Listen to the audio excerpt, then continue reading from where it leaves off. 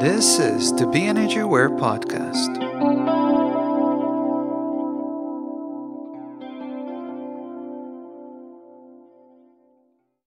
Welcome back to the Be Energy Aware podcast, brought to you by Get Empowered audiobook. This audiobook was created to help you overcome daily challenges. You can find a link to the audiobook in the description of this episode. Sensitivities. When talking about sensitivities, first thing I want to say is that everyone is sensitive to something, no exceptions. And if you're highly sensitive, the challenge is even bigger.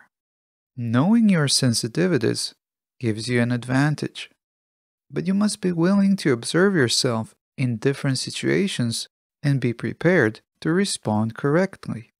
If you know your usual response to something you're sensitive to, then if you're not happy with your response, you can figure out a better one. And then next time, you can try that instead. Maybe you realize that there's something there that you need to heal. Two things here to observe how you're feeling inside and your behavior. So, observing how you respond internally and then observing your behavior, that is, what you say and what you do, are the two main things. For example, if something makes you angry, will you start yelling or will you simply just voice how you are feeling? Are you going to stay with that feeling or are you going to run away from it and act out instead? If something in your surroundings is bothering you and you cannot change how you feel about it, then a change of surroundings might be in order. If a particular thing cannot be changed and it's unhealthy, then what else is there to do? Providing, of course, that you've already addressed anything that needs healing. But anyway, we're past the time where people would cope with feelings in ways which would harm them and others. Right now, a lot more people are setting a good example by being present with their feelings and using them to heal themselves. They understand that feelings are here to be released.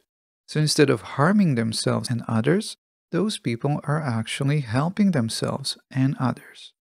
They get to heal, and those around them get to witness that, and they learn from it.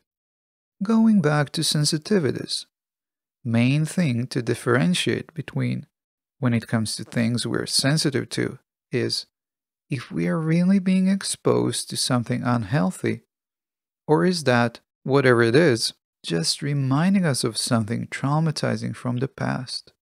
Sometimes our mind can trick us and we start thinking that we're back there again.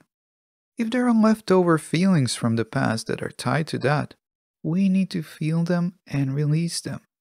If not, then we must not allow the mind to keep us in the past and suffering. We need to stop the mind right away by realizing, hey, I'm just thinking this. This is not real. Have you ever had that happen to you? How do you manage your sensitivities? Let me know. Message me on Instagram at BEnergyAware or through my website, BEnergyAware.com. And if you like this podcast, please leave a review on Apple Podcasts or just hit 5 stars. And as always, please share this podcast with your friends. I'm Bran, your host, and I'll talk to you again next week.